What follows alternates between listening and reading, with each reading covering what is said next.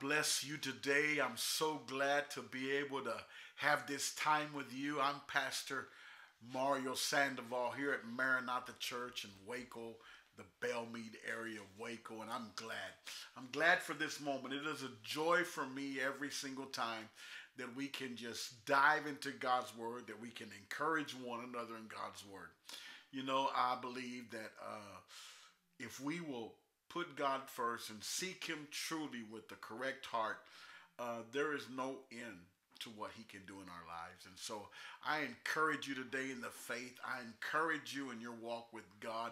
I pray and believe that today that um, God will sow a seed in your heart, a seed of His Word, that His Word as a seed will be sown into your heart, and that it is going to bear fruit for you. God bless you. Well, I want to welcome everybody that's that is uh, you know connected. I want to invite you to give us a like, give us a comment. Uh, don't forget to share the video. I pray that uh, you be encouraged and so that and share it so that other people can be blessed as well. You know, this is the program Man to Man with God, and it's devoted is I'm devoting it to to deal with man topics, male topics, things that have to do with us guys. And I know there's some ladies that get connected sometimes, and you are always welcome, ladies. You are welcome always at all times to come on here to man to man with God so that you can learn about your man, the men in your life, your husband, your father, your uncles, your children, your sons, your grandsons, your nephews, whatever, all those men that are dear to your life. It's good to be on here. And I believe that God is going to just continue to just give us, uh, He's going to speak to us. The Bible says, Seek and you shall find. And we're seeking, and we're seeking God as men. And we're saying, God, we want to be those men that you want us to be. We want to understand the correct teachings concerning manhood. We want to have the right definition concerning manhood. And we want to uh, be, uh, we want to have healthy manhood in our lives. Uh, to be part of, of, you know this life uh, uh, that you've given us, and so uh, it's going to be a blessing. Well, I'm in, I'm excited about today's topic. It's, you know I, I'm always praying, and most of the time, almost all the time. I'm already, I already have what I want to share uh, with you. But uh, this time, I was like, Lord, what what am I going to share? You know, I've been preaching over. I've been preaching for many years, and so over time, you know, you kind of like build this library of sermons and teachings and notes, and so sometimes it's easy to just grab an old message and uh, and teach it. And sometimes the Lord will. The Lord will take us back to something we taught and he'll make it fresh and, and we'll teach it. But uh, I've always uh, sought the Lord. Uh, even let's say I just gave up. Let's say today I gave this teaching and tomorrow I get invited to speak to men. I'm going to pray. And I might tell the Lord, Lord, in my prayer, you know, that, that, that subject that I taught you, I think is pretty good. But Lord, you're the one who knows. And so I've always sought the Lord. And so, like I was saying, I, I just didn't have the word. I was like, what am I going to share? What am I going to share? Of course, I got stuff, but I was like, Lord, I, I want to hear from you. And as I was as I was just praying about that today, and and today I even got to a point like, hey, Lord, you know, you know, need to need to hurry up here. You know, we need to find out what it is you're going to share, Lord. Uh, amen. It's not the first time I've been there, and God's been faithful. And then all of a sudden, out of nowhere, I'm going to say it like this. In my heart, I heard these words spoken, and it's called Yes, Sir. And that's the title of today's teaching Yes, Sir. Uh, when I heard those words, I mean, they were spoken in my heart, not audible, not in here audible, but I heard them. I heard them in my spirit. I heard them with my, my, my spiritual ears, and I heard, and they were spoken with a with a sternness with a strength. There was a there was a masculinity spoken to them, and they said, "Yes, sir." And it came to like when, um, I guess soldiers, uh, uh, you know, salute their higher ranking officers, and they say, "Yes, sir," or or, or when I, I, came to me like when a young person is in the presence of a grandparent or, or you know you know, person of authority, a male figure that's in their life that they look up to, and they say something to him, hey, hey boy, or they call him by the hey, yes sir, yes sir. Uh, that came to me, and uh, and so I want to read to you.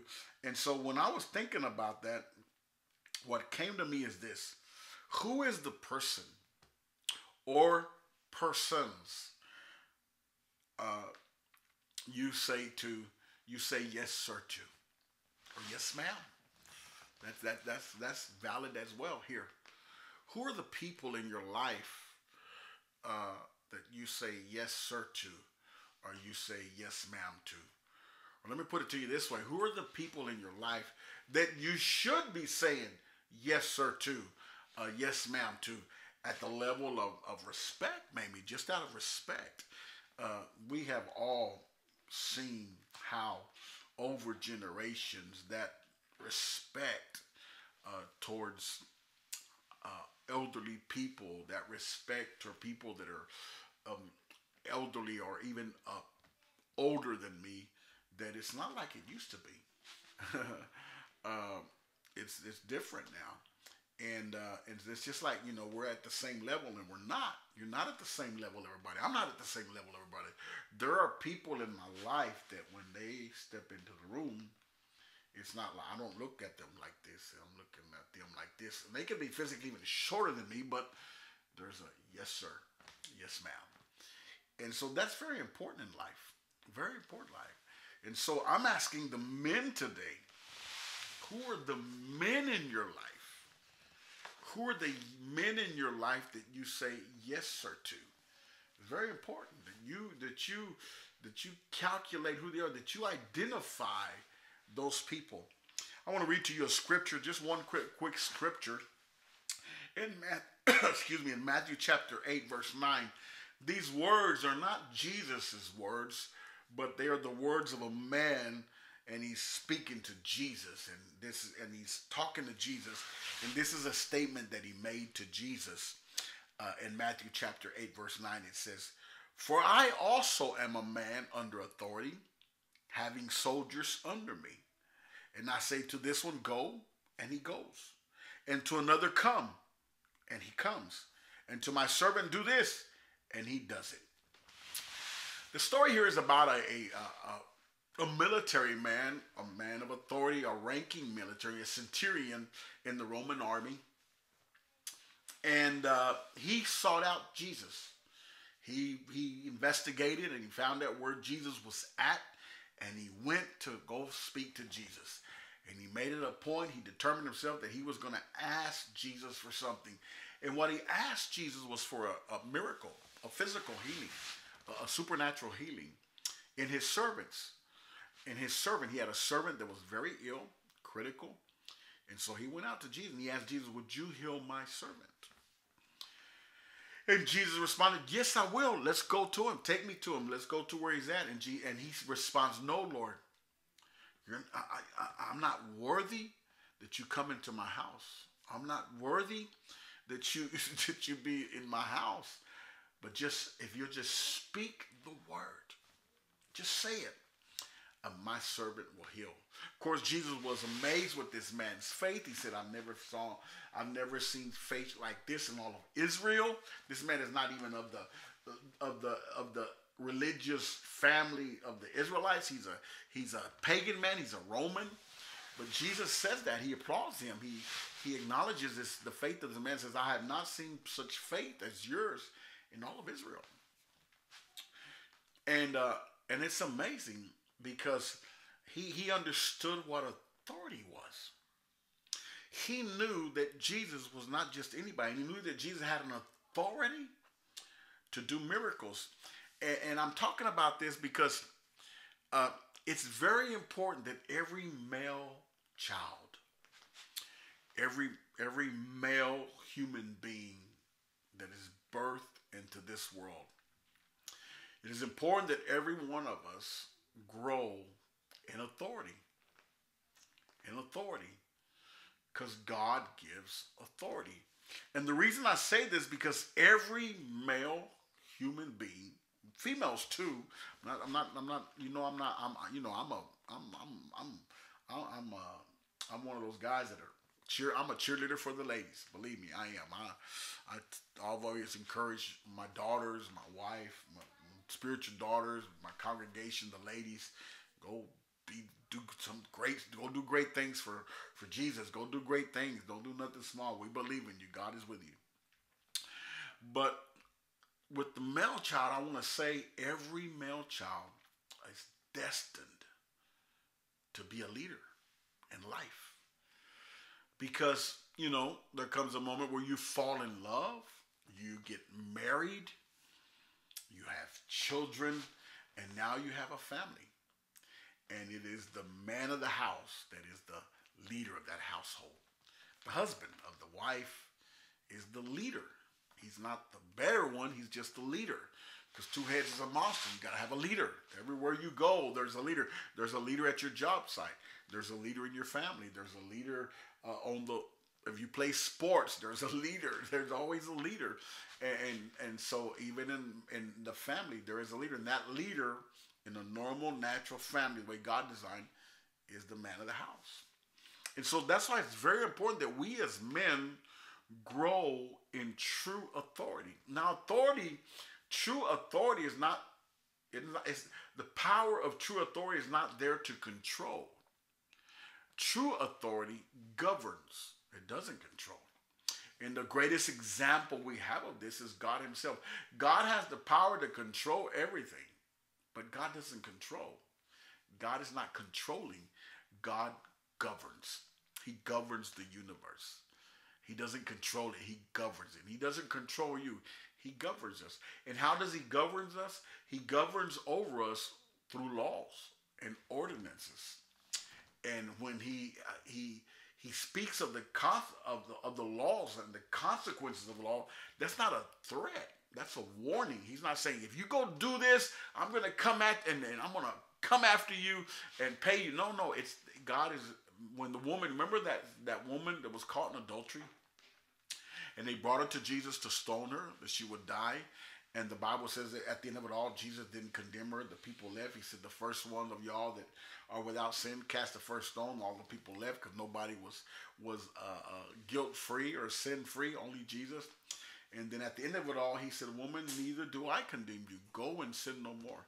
When he told her, Go and sin no more, he wasn't threatening her. He wasn't like threatening, Go and sin no more because if you sin again, uh, this go. No, he was warning her because sin has consequences. It always does, every time. Whether you're a saint, whether you're not a saint, whether you believe in God or don't believe God, sin has consequences. And so uh, God is a governing God. And we as men need to learn to govern. We need to be good governors, good stewards, good leaders over our family, over our loved ones. And the way you learn authority, the way you grow in authority, the way you develop an authority is being under authority. This man said, he goes, I am Jesus. He's acknowledging Jesus' authority to do miracles. He said, all I need you to do is just speak the word. Uh, I, I use an analogy to um, to explain authority when I've taught at times. And for example, I'll be teaching, for example, what authority is like. And then uh, I'm there, and usually in all of our formal gatherings, there's probably an usher here, an usher there. The people that are there just there to serve whatever's needed in the service and the gathering.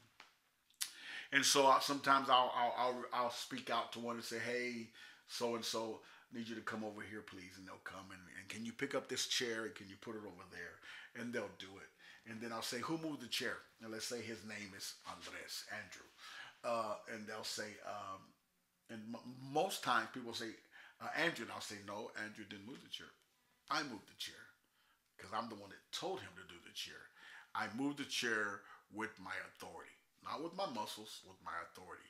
Because I'm an authority over Andrew in this service, and so when I commanded him to do something, he did it, and that's how authority works. It's it, that's why this man, this man said, just speak the word, and the Bible says that his his servant was healed. And so it's very important that we understand this because every one of us men have authority. We're going to have authority over our children. We're going to have authority over our wives. We're going to have authority over our family. We're going to have authority over the business. We're, we're people of authority. And so the way you grow in authority is that you have to be under authority. You got to be under authority. Because it's when we're under authority that we grow in authority. And so to do that, you need to acknowledge the people in your life that are in authority that God has placed them in your life, whether it's your your parents, whether it's your coach, whether it's your your your boss, whether it's your spiritual leader, maybe your pastor, maybe maybe your uh, your husband, maybe your mom. I don't know. Uh, who is that? Yes, that person that you need to say yes sir and yes ma'am to. Very important. Did you know the Bible says that when an elderly person walks in the room, you should stand, arise, and stand before them. God is teaching us to be respectful. You know, uh, if I'm ever in a room and there is no chairs and a person of older age walks in, I'm going to give up my chair to give them their place, you know? And a lot of times we don't realize those people. We want to treat them like however, and you cannot do that. As, as a matter of fact, the Bible says, honor your father and your mother so that it will go well with you on the earth and you have long life. We got it's not it's not it's not a small thing. And so we need to acknowledge who is the yes sir that I who is the person that I'm to say that that is worthy of me to say yes sir, yes ma'am. Um, I have a spiritual daughter. Uh, I have several, and uh, there's one of them. That's how she. That, that's how she always responds to me. Yes, sir. Uh, no, sir. Yes, sir. Yes, sir. It's always like that, you know. And uh, uh, we need to have those people in my life, in our lives. And uh, and the reason it's important. Now, how do you grow in authority? being under authority. But I want to explain something to you that our our growth in authority is not something that we pursue as in the kingdom of God as those who are out of the kingdom of God. The world has another way. They they they work, they push, they they they they do whatever they got to do to grow. We don't. We don't promote ourselves. God promotes us. And how? Through faithfulness. You know what faithfulness means? Being responsible. Everything that God commands you to do, whether He does it directly or he does it through an authority, a person of authority in your life, you should take that seriously. You should never belittle that. Whether it's to go just, hey, will you bring me this? You know, you need to realize that's what God is observing. That's what God is watching. You know, David, uh, I'm, I'm sorry, Paul, the apostle, said these words in the Bible. And, the, and he said, he said, God determined me faithful by placing me in the ministry. He didn't say, I determined myself faithful. No, God saw me as faithful. And the Bible teaches that we don't we don't we don't put ourselves in a higher authority. No, authority is not something you you grab you take you take. Authority is something that is given to you. And the great example that we have of this is Jesus Christ himself. Jesus gave his disciples this command when he commanded them the Great Commission. He said these words to them. He goes, he says, he says, uh, uh, all authority uh, some versions say all power, but it's all authority. All authority has been given to me in heaven on heaven and on earth. But notice what he says: it's been given to me. Jesus didn't just because he was the Son of God just impose and just took his authority. No, he, he said it was given to me. Jesus waited for the moment to receive all authority in heaven, in heaven and in earth. And so uh, we too need to learn to be faithful. And so I want to encourage you today that you will be faithful. And what is faithfulness? What God is watching, what God is observing, is the places, the the the response, the places of responsibility that's been given to you by a higher authority. The things the responsibility that's been given unto you from a higher authority. Some of them are temporary. Can you run to the store and do this for me? Can you do this for me? Some of them are long term. I want to entrust you with something. And so I want to encourage all the men today to evaluate your life because sometimes we get away from those principles and all we do is just focus on our ambitions. You know, one of the things that the Bible says about Joseph, if you know about Joseph, he was in prison. He had a great calling of God in his life, but he was in prison. He had been accused falsely uh, for uh, for rape, and it wasn't true. Uh, he had been uh, sold as a prisoner. I mean, as a, as a slave, and uh, but the Bible makes a comment about Joseph while he's in while he's in he's a slave and a imprisonment as a slave.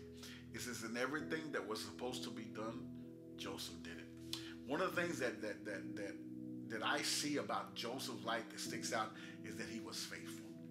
And faithfulness is not about your activity; it's about your responsibility. When authorities, even if it's your grandma, uh, can you go do this? Yes, ma'am. And I'm telling you, if you will take into consideration and begin to make sure that those areas of your life the yes sir area, the yes ma'am area. That those areas in your life, you're being faithful, you're being responsible, that you do it. Maybe you're young today and your mom is giving you a chore.